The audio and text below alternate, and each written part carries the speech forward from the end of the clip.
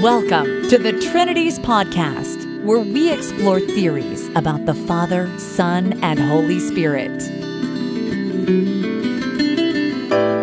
Do you love God enough to think about Him?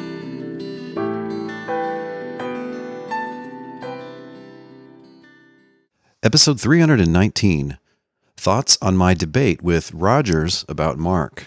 Part 1 Culture Clash. I'm a true believer in the tradition of formal debates. This tradition derives from medieval universities, really from professors of theology. And I think it's a great tradition because it puts a high value on truth and reason and rational argument. Debates also necessarily add a little element of drama that draw people in, and it provides a rare occasion on which a person can hear the other side fully make out their case, or at least as fully as the case can be made in 15, 20, 30 minutes, etc. Of course, the trouble with debates is, for one thing, you always think of a great comeback like the next day, and because of the ebb and flow of conversation and argument, you never end up covering all of the relevant issues and texts. There are always loose ends in a debate. And when it's a good debate, there's always a lot you can learn by kind of doing a post mortem afterwards. If you're interested in doing that, my friend Trey Brickley has constructed a debate map in which he records, as far as I can tell, accurately the back and forth of the different questions and answers and arguments that were given. So check out the blog post for this episode at trinities.org if you're interested in going that deep with this debate. Now, several people who followed the podcast basically said, Why would you sign up for this sort of thing? This guy's rude, he's rough. Why would you put yourself out there to be insulted by this guy? Well, there's two reasons why I agreed to the debate. One reason is just that I was confident in my overall case about interpreting Mark as presented in my opening statement. I don't think Rogers put a dent in it at all, and I think my case is transparently stronger than his opening case, which incorporates a lot of controversial points of interpretation. I knew what I was getting into. This sort of popular apologetics crowd is a rough one. If you'd like to see how rough, just find the original YouTube of this debate and look at the comments on the right hand side of the page as the debate goes on. For people like Rogers, this is a game of domination, basically. They think their job is to humiliate me and show me up as just a stupid loser uh, who doesn't know what he's doing and is totally incompetent. And uh, moreover, is just a very bad man because he's spiritually blind and he can't see just the obvious meaning of the text. My goal going into this is to make a stronger argument and to try to point out the weaknesses of his argument. So I knew going in that we were playing by two different sets of rules. The mocking game, I'm going to let them win that. To me, it's not a personal grudge match, and I'm exploring these things in part to help you, the listener, decide where you want to spend your mental energy. It's to help you to understand why he thinks my views are crazy and surely just spiritually blind, and why I am totally unimpressed by his arguments. Still, you might ask, why is it worth it? Well, I'll tell you. When I was in high school and going into college, I was a fanboy of popular apologetics. Now, back in my day, we didn't have the internet we had popular publications, magazines, and the radio. And I was listening to fast talking pseudo scholars like Hank Hanegraaff and I'm embarrassed to say Bob Larson, and reading books by very dodgy scholars like Walter Martin. And I was attracted by the rough and tumble of it. You know, I wanted to see the heretics be put in their place. And I liked the excitement of it. But also, I was interested in the truth of the matter. And I didn't have the tools as a high school student to distinguish between a real scholar and someone who just talks fast and is extremely confident in their opinions. What happened was when I got to college and started to hang around with, you know, professors of philosophy and theology and other things, I found that they didn't act like these apologetics guys that I was used to following. They were interested in arguments and disagreements and in important issues. They had that in common, but they didn't act like them. They didn't feel any need to try to belittle and humiliate their opponents. They really just focused on the arguments. They focused on making careful and sound arguments themselves and then carefully picking apart what are the weaknesses in the other side's arguments. And I was already starting to realize that guys like Hank Hanegraaff were really getting a lot of mileage out of just verbal aggression and being the guy who controls the mute button on the radio. Okay, what does this have to do with my debate? I'm trying to communicate with the fanboys of people like Anthony Rogers or David Wood or Sam Shamoun, who are like the younger Dale Tuggy, in that they don't really know the difference between a serious scholar and a fast talker who's good at memorizing proof texts. And yet they are interested in the truth of the matter. And they are interested ultimately in separating the stronger arguments from the weaker. So I'm willing to take a lot of abuse by the uncouth fanboys um, so I can reach that, I don't know, 5% or 10% or whatever it is, who are more serious. Because the fact is, there's a world of relevant scholarship that they're not going to know about if they only listen to people like Anthony Rogers, as I'll explain. I do find it frustrating to debate people who are not scholars or whose main business is popular apologetics, not because they're rude, but just because they don't understand my views. I've spent two decades developing my views on this subject, and these folks just don't spend the time and effort it takes to read things that I've written so that they can understand what I think and why. They just don't care too much about that. You know, they're wanting to get their own proof text out there also, what's frustrating is just the sheer volume of distracting misinformation. And I think that really did detract from the quality of this debate, as I'll explain. What would have made the debate better, I think, is if we had given each other our opening statements a week in advance. This way, we would have been able to engage better with the other person's opening statements. It's very hard to process just on the fly, you know, one minute after you heard it, and to come up with a really deep uh, and incisive rebuttal. This is what Chris Date and I did in our debate, and I think it really made it a better debate. I didn't suggest it this time just because I was busy and didn't have my argument ready a week in advance. So I couldn't suggest sharing it. If we had done that, I would have had a lot more to say about his new Exodus argument. A lot of his overall case really just depended on a brutal misunderstanding of the opening verses of the Gospel according to Mark. But another part of his argument was that Mark is clearly presenting the events in his gospel as a new exodus because Jesus is doing all the same miracles or maybe the same general sorts of miracles in the same order. And clearly, this would communicate that now God has come in person. Here's one place in Rogers' post debate discussion with his followers where he kind of summarizes his case that in Mark, Jesus is God. Dale is being an obscurantist. I didn't say that in the debate, but he was, right? Here's Jesus being called the Lord. Old Testament Lord texts are used for him. He does what the Lord does. He does them in the order the Lord does them. He does them uh, in a way that's described in exactly the same way that it's described for God in the Old Testament. All these things, you have to be characterized by a special kind of blindness to say that sort of thing.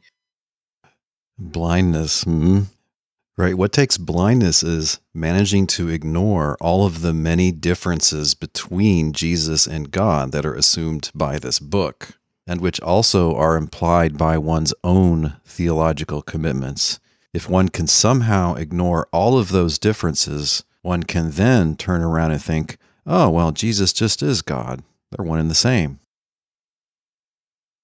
Okay, now about this new Exodus argument, what I would have said if I had been better prepared going in, if I knew he was going to make this sort of argument. Again, keep in mind the genre of this book as I explained it. This book was clearly meant to be understood by ordinary Christians.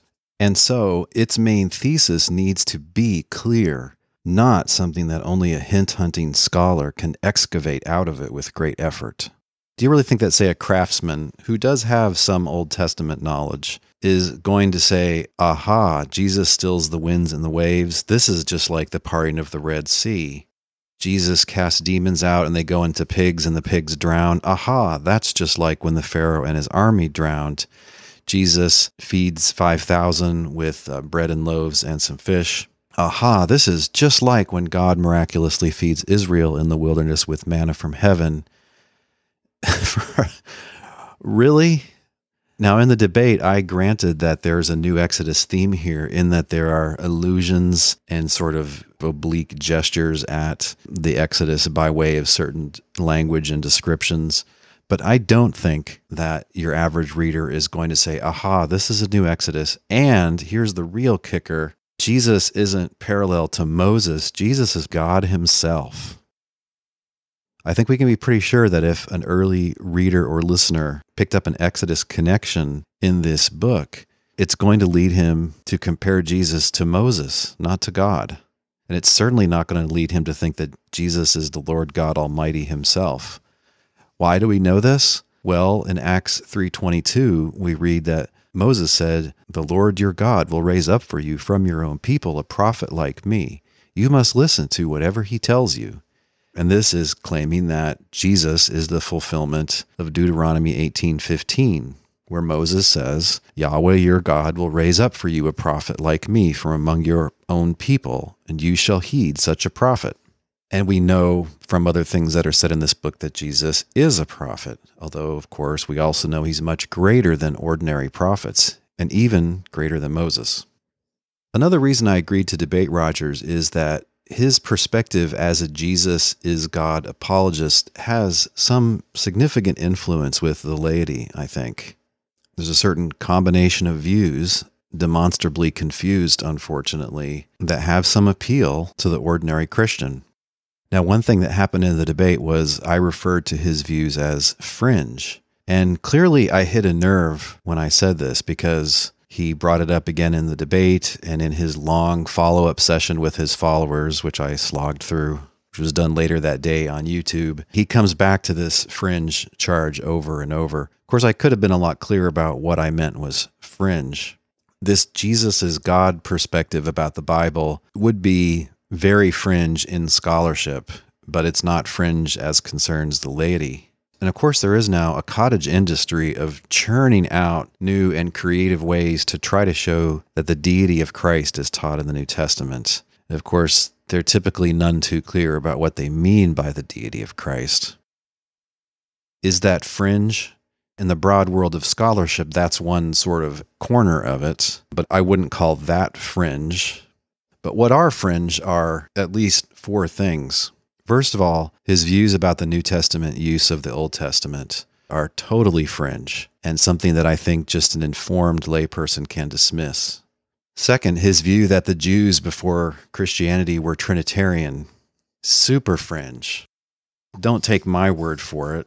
Here's what Dr. John H. Walton says, who is professor of Old Testament at Wheaton College and Graduate School in his book, Old Testament Theology for Christians From Ancient Context to Enduring Belief, he writes this, and this is in a list of 10 ways in which Old Testament theology differs from New Testament theology.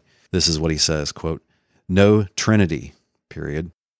The understanding of the Trinity is entailed in the recognition of Christ as incarnate God, in consequence of which the Holy Spirit is understood as having been sent to indwell Christians. Now, just to pause for a second, that's not enough to get a triune God, but let me continue. In the Old Testament, God's revelation centered on the idea that there was one God as opposed to a community of gods. The metaphysical models that would make Trinitarianism meaningful simply do not exist in the Israelite cultural context. In some passages of the Old Testament, Christians can look back and catch glimpses of some nascent Trinitarianism, but such hindsight interpretations cannot be construed as a revelation of God in the Old Testament context and do not factor into the theology of the Old Testament.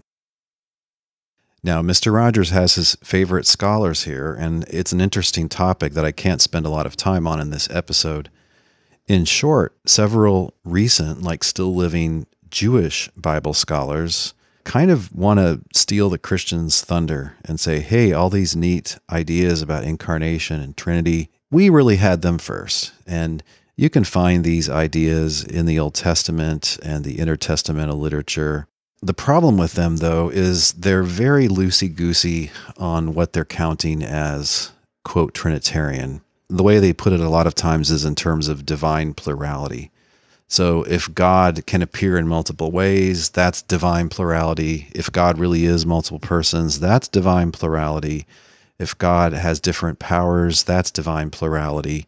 If God operates through lesser deities, that's divine plurality. Right? Just wad it all up into a ball and start talking about divine plurality. And the Trinity's divine plurality too, right? Right. So we were already talking about that sort of thing. Now, you should give the credit to the Jews here. And Rogers has his own, again, fringe views about the angel of the Lord. Uh, it's basically a different person than Yahweh, but also the same person, which is total nonsense. Okay, so fringe views, his views about the New Testament use of the Old Testament, his views of the Jews were Trinitarian, his off the wall, theologically motivated misreadings of clear passages about Jesus' lack of knowledge, and finally, just how straightforwardly incoherent his views about God and Jesus are. Now, what happens in the early deity of Christ literature, this new large and constantly growing genre of writings, what the authors constantly do is tap dance around quite how Jesus and God are related. They're closely associated. Jesus shares in his identity, or maybe just has his identity. Uh, God comes in Jesus and as Jesus. They always have kind of one foot in saying they're the same person and one foot in no, they're really different persons. And there is a general consensus there that you find expressed in many ways that you can't simply collapse Jesus and God. Like that would be a mistake to think that the one just is the other. This is the biggest difference between a popular Jesus is God apologist and these sorts of scholars. There are many examples I could give, but here are two examples of early high Christology scholars who draw back when it comes to just straightforwardly collapsing Jesus and God into the same one. So, Larry Hurtado, in his book God and New Testament Theology, and by the way, I interviewed him about this book. It's Trinities Podcast 100. On page 50, he writes this There certainly is other evidence that in some populist Christian piety of the ancient world, Jesus was effectively the sole, quote, God to whom prayers and praise were offered. For some early Christians, there was no meaningful distinction in function, relationship, or essence between Jesus and the Father. In short, for Christians in these circles, Jesus effectively eclipsed God. Put another way, Jesus simply became, quote, God, not God the Son, defined in relation to God the Father, but to all intents and purposes, simply, quote, God. Indeed, this may also be true of a lot of populist and theologically untutored forms of Christian piety across the centuries down into our own time. And then in his footnote, he mentions oneness Pentecostals. Yes, this very confusion is exactly what's endorsed by people I call Jesus is God apologists. The eminent New Testament scholar James Dunn, in his book, Did the First Christians Worship Jesus? page 142, the New Testament writers are really quite careful at this point. Jesus is not the God of Israel. He is not the Father. He is not Yahweh. An identification of Jesus with and as Yahweh was an early attempt to resolve the tensions indicated above. It was labeled as modalism, a form of monarchianism. And then he goes on to discuss Richard Bauckham's tortured and unclear language about divine identity, but I don't want to go into that here.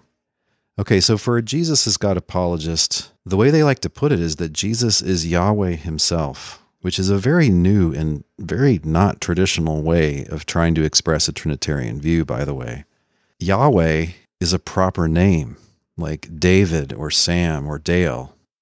It's the name of a self. So is the word Jesus. When they say Jesus is Yahweh, they seem to be thinking that Jesus and Yahweh are one and the same self. Okay, but then what are the quote persons of the Trinity? I don't think that they have any clear view about what those are. They'll say the Father and Son are different persons, but then they seem to think that the Father is the same person as Yahweh, the Son's the same person as Yahweh, which would entail, logically, that the Father is the same person as the Son. But they know that's a wrong answer, so they don't say that. They're constraining themselves by Trinitarian language. And I mean, basically, their view is that Jesus is Yahweh himself, oh, and also somebody else which is just complete nonsense. It's a non starter. And that's why the early high Christology people are always kind of flailing about trying to come up with something more subtle to say about Jesus and God, other than that the one just is the other, or that they're the same person, and also, by the way, different persons. Right, so Jesus is Yahweh, so they're thinking they're the same person. Oh, but he's also the son of Yahweh. Okay, that means he's a different person. If you're paying attention to issues of logical coherence, you'll see that their views are just incoherent. And so they're really a non starter for giving a charitable and plausible interpretation of the Bible.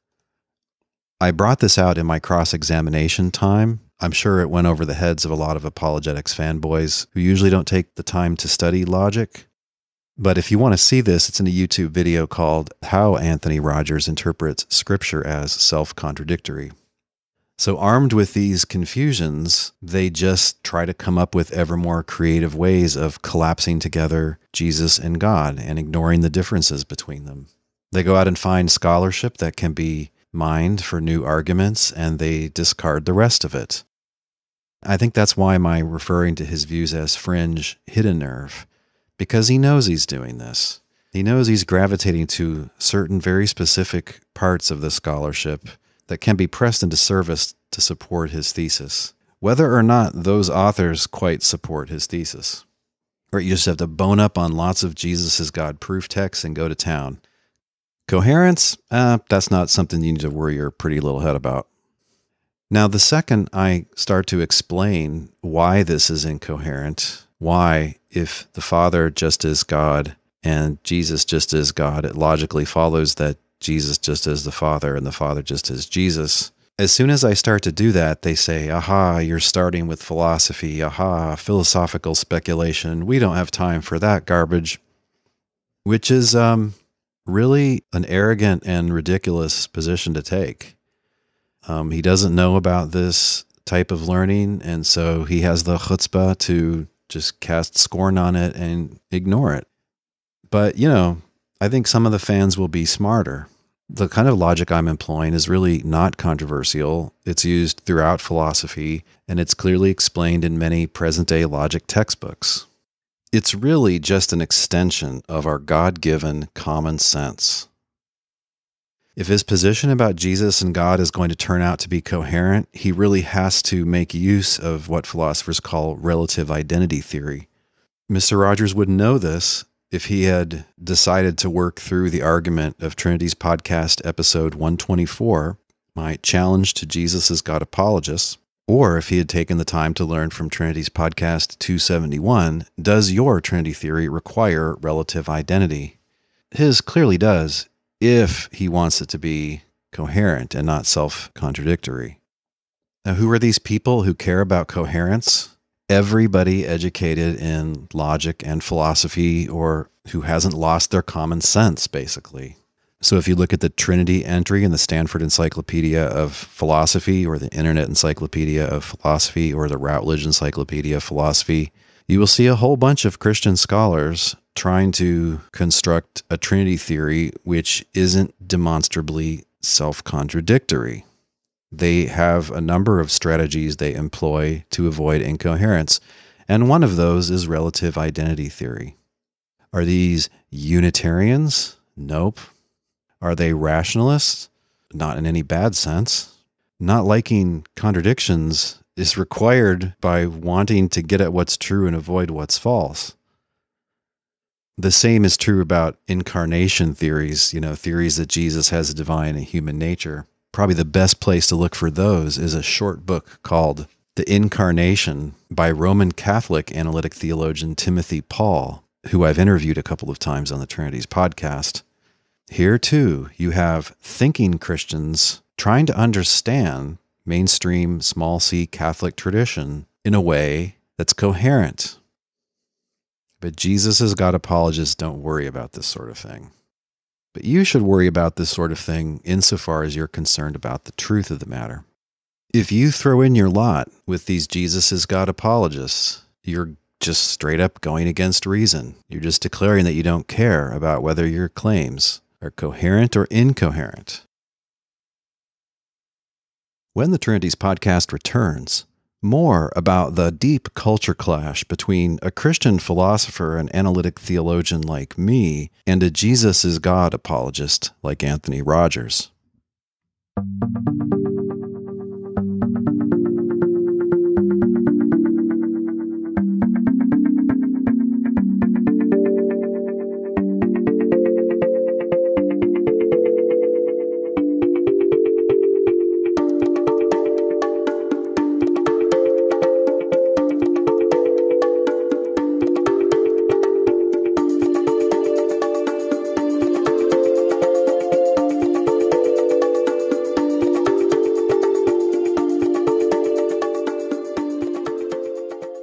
There's a vast disconnect between our points of view, and not just as concerns theology or the interpretation of Mark.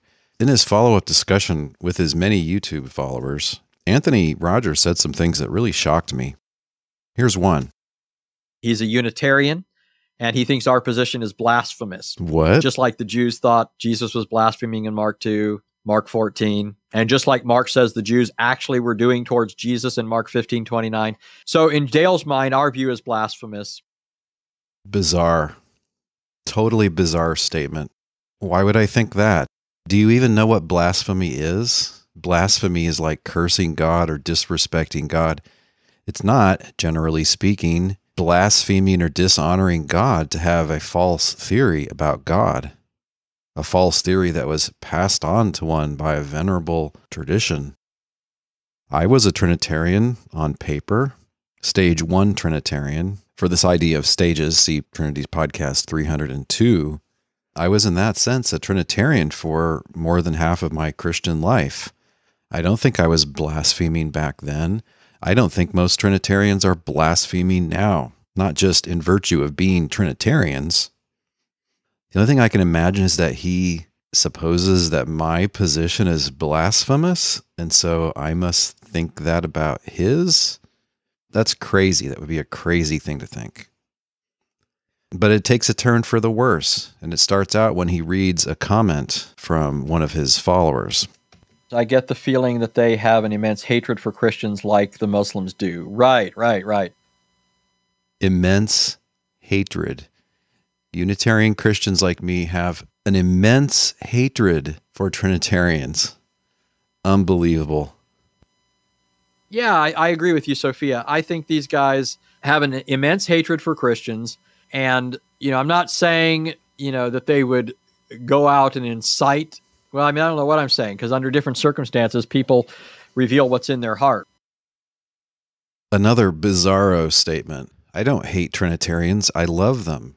They are precisely why I wrote my book, What is the Trinity? They are precisely why I try to engage Trinitarians constantly in rational argument, to help them think through this issue of Trinity theories and the Bible, and how are the two related. Clearly, I don't hate them. I don't hate my prior self. I don't hate my Trinitarian friends now.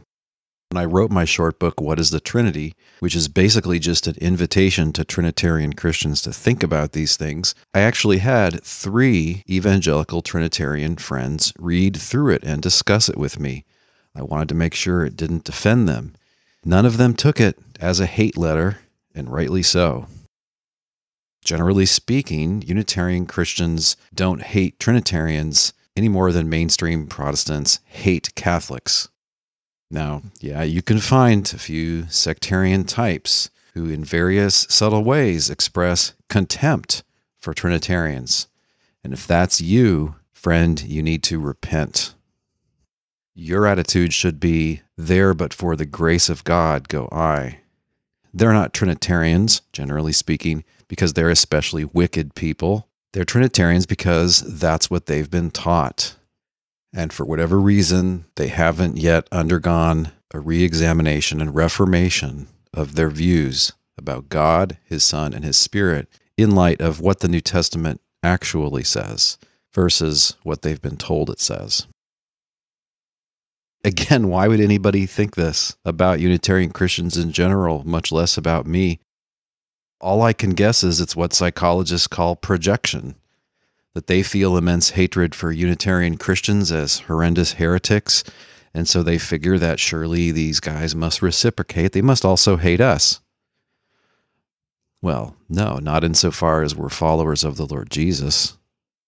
We don't hate our enemies. We love our enemies, and we pray for those who persecute us a bit later, Rogers is speculating on, you know, why anybody is paying attention to this doofus Tuggy.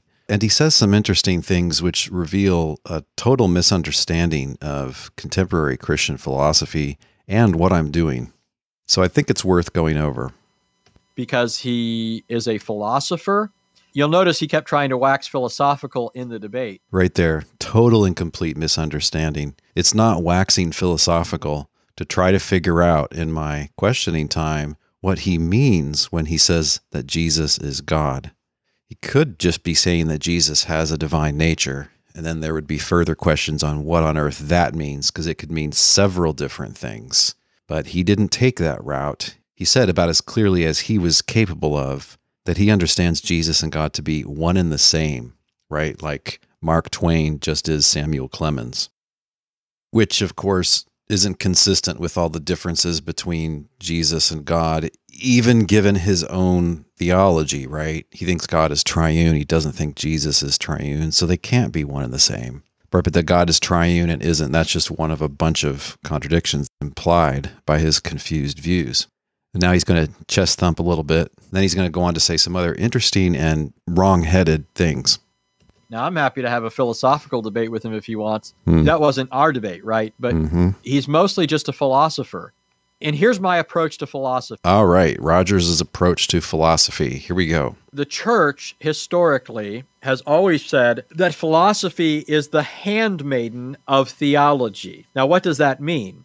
Well, it means that philosophy in, in terms of determining what God has said, what God has revealed, what is true about God, the scriptures trump philosophy. It's the job of philosophy, just like a handmaiden, to come along and serve theology. It's to serve scripture. So we can use philosophy to clarify our points. We can use philosophy to formulate our arguments and that sort of thing. But philosophy can't dictate our understanding of the Bible. It can't tell us that this text can't mean that because, well, this philosophical notion rules that out, right? So philosophy is to take its marching orders from Scripture.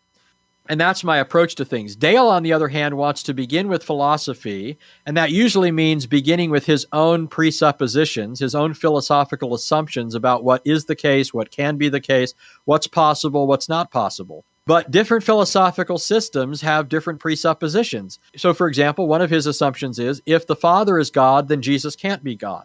So, what's the underlying assumption there? Well, that God's only one person, such that if the Father is God, Jesus can't be. But what if you don't buy that assumption? What if you think that two persons can both be God? What if you think, like Mark explicitly says, that not only the Father is deity, but the Son is deity? If you don't buy these philosophically important assumptions, then all that's just up in the air in, in terms of arriving at truth. So I believe you begin with scripture, and philosophy serves as a handmaiden to theology. Uh, the Bible, God's revelation, gives philosophy its marching orders. Okay, wow, this was just riddled with interesting errors. The biggest error is that he seems to have no understanding of the recent traditions of Christian analytic philosophers. Of course, since we are traditional Christians, we believe in divine revelation. And so we're not going to accept some product of philosophical speculation that we can see to clash with what God has revealed. About the handmaiden metaphor, yeah, sure, in a sense, divine revelation is more important than philosophy, if only for this reason divine revelation provides knowledge to everyone. And not everyone is capable of philosophical reasoning and philosophical arguments and understanding philosophical theories and things like that. But in another sense, this idea that philosophy just has to kind of stand by idly and wait for theology to finish its work, and then maybe philosophy can somehow come in to help, in one sense, that's ridiculous. And the reason it's ridiculous is that logic and reasoning are part of philosophy. We don't want interpretations of Scripture which make it out to be incoherent, which have the author to be contradicting himself. Charity requires that we try to avoid interpretations like that. What is the discipline that helps you to determine whether or not an overall set of claims is consistent or whether it's incoherent? That's philosophy, specifically within philosophy, logic. And there are also difficult passages, for instance, in Paul, in which there's a complicated argument going on. And to interpret the passage, you really have to be able to follow the flow of that argument. What is the human discipline which trains a person to analyze arguments so as to understand what the premises are and how the conclusions supposedly derive from the premises? It's philosophy, and specifically logic. So there's no way to take your mind, your reasoning powers, your interest in the difference between truth and falsity. There's no way to kind of set that aside and interpret scripture and then come back to it. Training of this sort just helps you to exercise those God given muscles that you're expected to have as a reader of a human book, whether an inspired book or even just an ordinary human book. So the idea that you just sort of uh, philosophize about what's possible and then uh, come to scripture with this, and uh, you have this grid in your mind that then you have to force scripture into. No recent Christian philosophers accept that approach, really. One thing that Rogers and I think, as far as I can tell, all Jesus is God apologists don't understand about philosophy is not everything that philosophers talk about is a philosophical theory or something that has to do with philosophical speculations. One thing that philosophers do is we separate out what's known from what's not known. We separate out what's known from what's merely speculated or postulated. And some types of philosophers, especially due to the kind of Aristotle and Thomas Reid tradition, talk about things that all humans are able to know, just as humans with ordinary experience. Another good example of this in philosophy is Alvin Plantinga and the many, many people, including me, who have been influenced by him. One way to put it is that certain truths are properly basic. They're known, but not on the basis of other things that one knows. Another way to describe these truths is to say that they are self evident, that basically a human being just has to think about them and they will thereby know that they're true. And by the way, I did a bunch of podcasts in a row about self evident truths and how that relates to speculating about God and Jesus. This is podcast number 219 through 223. So you can check that out for more examples of relevant self evident truths that can help us to interpret Scripture. And among many different kinds of examples, this would include, say, the mathematical truth that 2 plus 2 is 4, so, if you have some philosophical theory about free will or universals or the nature of human persons, no, you can't then, you know, after you theorize, insist that scripture be crammed into that mold. But because philosophy deals with things that all people know or that all people should know, it helps us to find some tools which are going to be presupposed by the scriptures and by just about any human writing. Again, just take basic mathematical competence. Scripture doesn't teach you this, Scripture assumes it. You need to bring that basic competence to Scripture when you read it. And Scripture isn't going to change your understanding of mathematics. You're not going to suddenly think, oh, because of this passage, 2 plus 2 isn't 4, it's really 5. Okay, but there are other truths like this, such as the truths of logic, such as that this is a valid form of argument, what in the Middle Ages they called modus ponens. If you have one premise P and another premise if P then Q, then the conclusion follows Q. No matter what claims you substitute for P and Q there, you're going to have a valid argument, one in which it's impossible for all the premises to be true while the conclusion is false. So, the basic truths of mathematics, the basic truths about what follows from what logically, just a basic understanding of making inferences, those are things we bring to Scripture, not things we learn from Scripture. And we need those tools to understand what's going on in various passages. Another area of self evident truths concerns our fundamental concept of numerical identity, or just the relation being the same thing as. This is a relation which is symmetrical. If A equals B, then B equals A. It's transitive if A just is B and B just is C, then it follows that A just is C. And it's reflexive. For anything that there is, it has to bear this relation to itself. So it's a very strange relation. It's not a relation between different things. To realize that things are identical is to realize that uh, counting them as two would be double counting. And in some cases, you're collapsing what you had previously thought were two things down into one thing. You're realizing that in your mind, no, there's really just one thing there. The famous uh, ancient example of this is the morning star and the evening star, which are two different bright heavenly bodies that ancient people could observe. And we've known for some time that these are just the planet Venus. So we say the morning star just is the evening star. We collapse them, the one just is the other. Now, because of what we know, not speculate, not believe, not theorize, because of the things we know about this relation of identity, who all of us, even Anthony Rogers, even every Jesus is God apologist, when they're talking about other subjects, one of the things we understand about this is that things identical to the same thing have to be identical to one another. You can give a proof of this in formal logic. I'm not going to waste your time with it right now, but it's it's easy to see, right? If A just is C and B just is C, well then it also has to be that A just is B.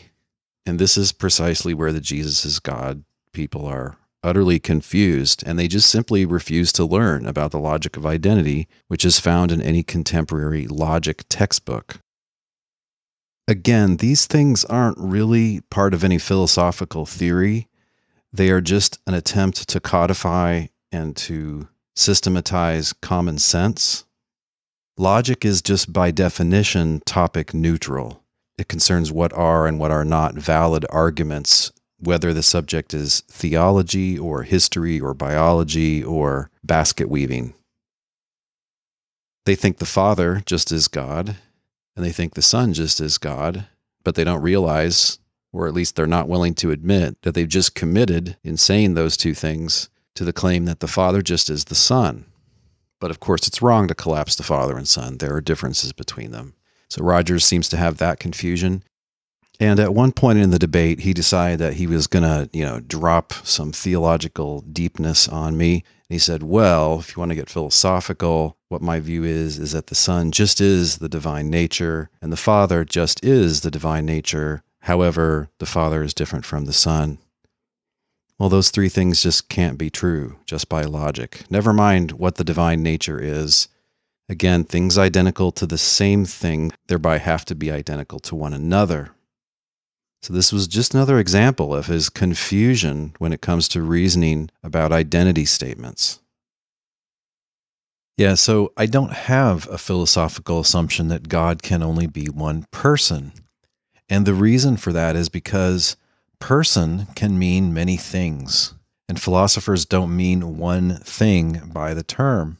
When a Trinitarian says that God is three, quote, persons, my first question is what do you mean by the term person? There isn't one meaning for that. There are at least a couple of meanings for it. You tell me what you mean, and then we'll continue on the discussion from there. In fact, I went into this whole area precisely with the hope and the assumption that there would be some interpretation of this language that God is three persons that makes sense, that's not incoherent, and that fits the Bible. I went into this subject as a Trinitarian evangelical, hoping to defend, quote, the Trinity. But of course, the first stage in critical thinking about any matter is okay, exactly what claims are we talking about? And that led me into a lot of difficult reading and investigation because I found that smart Trinitarians had said several different kinds of things in the hope of finding a Trinitarian theology that is coherent and fits with Scripture and later traditions. And it's not, by the way, just Dale Tuggy that understands these self evident truths. If you look at the Stanford Encyclopedia of Philosophy article on the Trinity and you consider the various authors discussed there Peter Van Inwagen, Brian Leftow, William Lane Craig, James Anderson every single last one of them understands this kind of reasoning that I'm talking about. And with the exception of Van Inwagen, maybe because of his views about relative identity, they accept these self evident truths their theories are incorporating this type of critical thinking in them. So, in short, there are multiple approaches to, quote, the Trinity, what that is supposed to amount to, which don't involve ignoring careful reasoning about identity statements. Jesus' is God apologists seem just to not know this. They don't want to know it. You know where I first learned these self evident truths about identity and that this was applicable to the issue of Jesus and God. I learned it from Dr. J.P. Moreland at Biola University. I believe it was in a metaphysics class.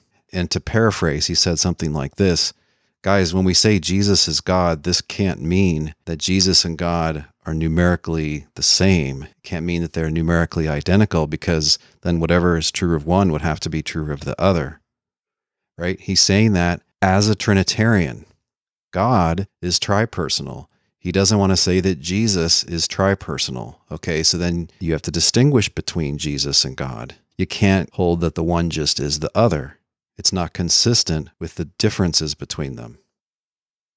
So there's no uh, weird theory here by Tuggy. There's no, you know, creative thing that Tuggy came up with. These are self-evident truths that are known and worked with and around by thousands of people who have just taken upon themselves to understand identity statements and how to construct arguments with statements that affirm or deny numerical identity. So, in no sense did I go into this matter assuming that God must be one person. Nor do I assume that if Jesus is God, then the Father can't also be God. The reason I don't assume that is it can mean many things to say that someone or other, quote, is God. Could they both be divine? Depends what you mean by divine. Is each one a God? Do they share a divine nature? These are all things to consider and I have considered them in my work very thoroughly. But just like I know that 1 plus 1 is 2 and that 4 minus 3 is 1, I know that if Jesus just is God and the Father just is God, it would have to also be that Jesus just is the Father. And it's also self evident that if you can discover a simultaneous difference between one thing and another, then they must be two. They couldn't be one. So one and the same thing can't be and not be a certain way at a certain time. Are there simultaneous differences between Jesus and the Father? Yes, according to any Christian. Check out podcast 124 on that. Right, so the whole picture of what recent Christian philosophers are up to, what sort of assumptions I bring when I'm doing theology, you know, how I'm corrupted by this philosophical conviction somehow that God can only be one person, it's all just pure imagination. He's just trying to figure out why does Tuggy think what Tuggy thinks. He hasn't read enough Tuggy. He hasn't taken the time to. The things he's saying here are kind of a just so story, so he can attempt to understand why I think what I think, even though I'm looking at the same sources that he's looking at. I am looking at the same sources he's looking at. I don't, quote, start with philosophy. What's different is the degree and kind of critical thinking that's going into interpreting a book like Mark. There's also a difference, I think, in understanding the historical context of the first century discussions. Really, the fact that my degrees are in philosophy, it's kind of a red herring. It's kind of a distraction. And the Jesus is God apologists, most of them do find it very distracting, but it's really not relevant to why I think what I think. There are tons of Unitarian Christians who have figured out these same things with or without any help from philosophy, and the ways that we're reasoning about the texts are very similar. And this is because we're just using our God given common sense and comparing Scripture with Scripture. You don't have to be a philosopher to come to these conclusions. I didn't come to these conclusions because I'm a philosopher. I came to these conclusions simply by reevaluating mainstream traditional theology in light of the New Testament. And my philosophical training, I'm very grateful for it. It's been helpful to me in carefully making and evaluating arguments and also in carefully understanding sources in their historical context. Those are the things that have helped me from philosophy. But you don't have to have those things to come to be a Unitarian Christian. And in fact, most of us have not studied any philosophy. When the Trinities podcast returns, more about Rogers' confusion of Jesus with God and his misreading of the first portion of the Gospel according to Mark.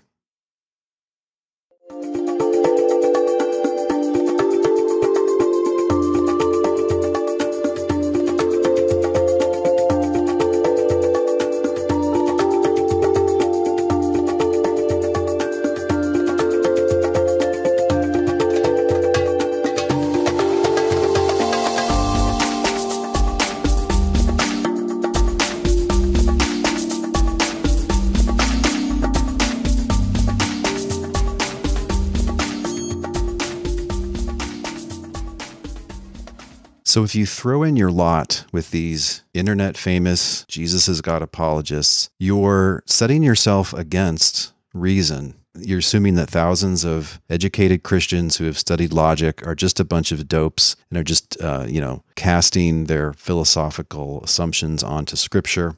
And another thing you're doing to your own detriment, and I'll talk about this in the rest of this episode, but also in next week's episode, is betting against the bulk of conservative Christian Bible scholarship. And this is something I wish I knew going into the debate. Uh, Mr. Rogers hadn't said much about Mark that I could find on YouTube before. I didn't realize just how much of even the most conservative modern scholarship he just rejects out of hand. If you were only to listen to Anthony Rogers, you'd come away thinking that the Greek word kurios simply is the Greek equivalent of the Hebrew name Yahweh. But that's just wrong. As I said in the debate, look in the lexicon. What's true is that when Jews would translate the Hebrew Old Testament into Greek, they thought God's name was too holy to pronounce uh, or even to write, and so they would substitute Hakurios, the Lord, for the Hebrew word Yahweh. So it can be a substitute for the divine name. Even in these cases, however, kurios is still not a proper name. You could say it's a polite euphemism, basically. Again, because of their assumption that the divine name is too holy to be uttered or even written. But at the other far end of its meaning, it can just mean sir. It can be a polite form of address. One notch up from that, it can mean master or boss. This is the sense of it, by the way, in Mark 2, when Jesus says that he is the master of the Sabbath, that he's able to pronounce about Sabbath law questions. He's not saying he's the Yahweh of the Sabbath. That's nonsense. So that's three different meanings for this term. Interestingly, there's a new New Testament meaning also to use kurios or ha kurios, the Lord, to refer to Jesus as opposed to God. So in New Testament teaching, 1 Corinthians 8, Ephesians 4, there's not only one God, but also, guys, guess what? There's one Lord. He's not double counting, he's not saying two different names for the same one there. So I was kind of shocked in the debate when Rogers didn't even seem to grant that kurios is ambiguous between God and Jesus, because I knew that scholars worry about this all the time. They know it can refer to God or to Jesus, so okay, for this instance here in this chapter, which one does it mean here? Usually it's pretty clear by the context which is meant. Interestingly, there are a few ambiguous cases where some scholars will say it refers to one, some the other, and it's just less clear to us, whether or not it was less clear to the original readers. So when you realize how ambiguous the term kurios is, then you see, oh, if I'm going to say that calling Jesus kurios is calling him Yahweh, I'm going to have to argue for that. How do I know it's not one of these other three uses of the term? Now, Rogers rested the bulk of his case really, I think, on just a straight, confused misreading of the opening couple of paragraphs of the book, ignoring the actual main thesis of the book, which is repeated like a drumbeat through the entire book, including the first verse. He's like, no, the real thesis is right here when he quotes Isaiah prepare the way for the Lord. Now, some of the best recent commentators, like Adela Yarbro Collins in her Mark commentary in the Hermeneia series, they recognize this point. She writes, most immediately, the quote, Lord in the quotation is to be identified with Jesus that John's task is to prepare the way for the activity of Jesus is implied in the context in several ways. The sequence of events in the narrative of this passage implies that John prepares the way for Jesus. Further, the sayings attributed to John in verses 7 and 8 imply the same conclusion. John proclaims that one mightier than he is coming after him who will baptize the people in the Holy Spirit that this coming one is Jesus and not God is made clear by the reference to his, Jesus' sandals, in verse 7. This conclusion is supported by the subsequent association of Jesus with the Spirit in verse 10. That John's activity was a preparation for that of Jesus is further suggested by the statement in verse 14 that the public activity of Jesus began only after the end of John's. Now, if you look at the blog post for this episode at trinities.org, you can see an image there I made of this text from the New Revised Standard Translation. And what I've done is I've color coded the names and the pronouns, etc., that refer to the three different characters here. The three characters are Jesus, the Son of God. That's one character. I've got those references in blue. Then there's God. I've got those references in red. And then there's John. I've put those references in green. And in the quotation, God is talking about sending a messenger, that's John, who will prepare your way. Okay, God's talking about someone else. Who is this someone else? He's referred to as the Lord. You know that you can't confuse Jesus with God because of several obvious differences between Jesus and God that are presupposed in the passage. This keeping the characters straight is just a part of basic reading comprehension. So we know that the Son of God is just going to be someone other than God. You don't describe someone as their own son. You know that Jesus has sandals, God doesn't. Jesus came from Nazareth. God is everywhere. Jesus was baptized by John. God, we don't think, has ever been baptized. Jesus comes out of the water. Jesus, not God, sees the heavens torn apart and the Spirit descending like a dove on him. And then there is a voice that comes from heaven, and the reader is to understand this is God speaking, not Jesus, not John the Baptist, saying, You are my son, etc. So the suggestion that Jesus is assumed or taught to be Yahweh here, it's just straight up confused. It's confusing together what are clearly two different characters in the narrative. Now, what he argued, and here's where we get into the fringe views, is that in the Hebrew original of this text from Isaiah, the Lord that's coming, that's Yahweh. The Lord Hakurios in Greek therefore must refer to the same one in this fulfillment that's being here alleged. Of course, this is a mistake. God doesn't say, See, I am sending my messenger ahead of me who will prepare my way, you know, that this person will make my path straight. He says, I am sending my messenger ahead of you who will prepare your way. Prepare the way of the Lord, make his paths straight. God here is talking to somebody else. Now, when you're committed to the nonsense, like Mr. Rogers is, that the angel of the Lord is Yahweh himself, but also a different person than Yahweh, then you have no trouble here thinking that Jesus is the Lord, that, that is, Jesus is Yahweh himself, and yet Jesus is a different person than Yahweh.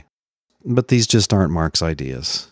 In fact, these aren't ideas that you see in Christian theology until the fourth century, angel of the Lord notwithstanding. And in next week's episode, I'll talk more about why this is a fringe view. That an Old Testament prophecy, when it's fulfilled, has to have the same meaning and the same reference that it had back when it was originally spoken. That view just can't be sustained at all in light of modern Bible scholarship. But before I get to that, I want to talk about an idea that Rogers came back to over and over that there are signature acts of Yahweh, things in principle that only God can do, and Jesus does these, and therefore we just have to conclude that Jesus is God.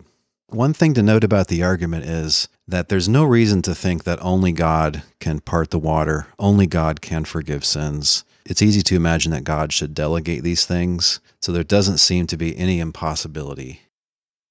In the cross examination, I effectively refuted any claim that it's just impossible for anyone other than God to, say, walk on water or calm the wind and the waves or forgive sins. There's no reason to think that in principle only God can do that because it doesn't seem contradictory for other beings to do that. In fact, it seems like an all powerful being could very well authorize other beings to do precisely those actions. Rogers did not have anything to say about this. Uh, maybe you could think he fell back on the lesser claim that, okay, well, only God does these things. He likes the phrase that these are signature actions of God, things distinctive of God. Uh, maybe not things that only God can do, but only things that God, in fact, does. The thing about these signature God actions, and there are such, I think, in the Old Testament, is that they don't exclude God acting by means of a human agent. So, for instance, in Isaiah chapter 46, God is insulting the idols at the start of this chapter. Verse 5 To whom will you liken me and make me equal, and compare me as though we were alike? A little further down, I am God, and there is no one like me, declaring the end from the beginning, and from ancient times things not done, saying, My purpose shall stand, and I will fulfill my intention calling a bird of prey from the east, the man for my purpose from a far country. I have spoken, and I will bring it to pass. I have planned, and I will do it.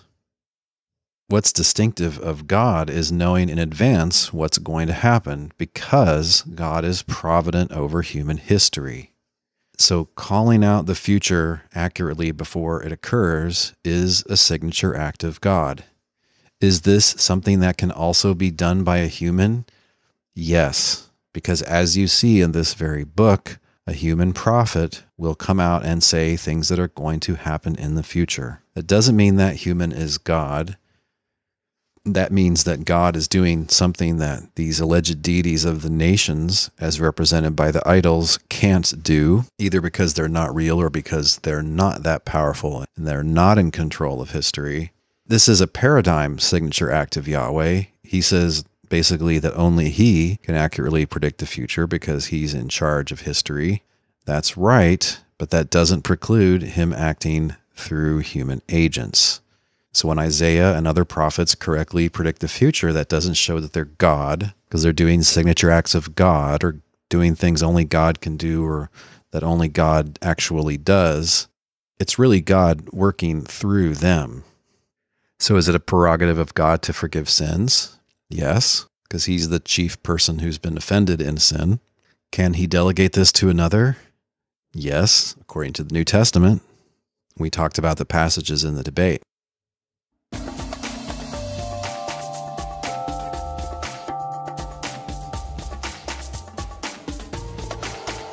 In next week's episode of the Trinities podcast, I'll explain how Anthony Rogers and probably some other Jesus is God apologists as well set themselves against even the results of contemporary conservative Bible scholarship.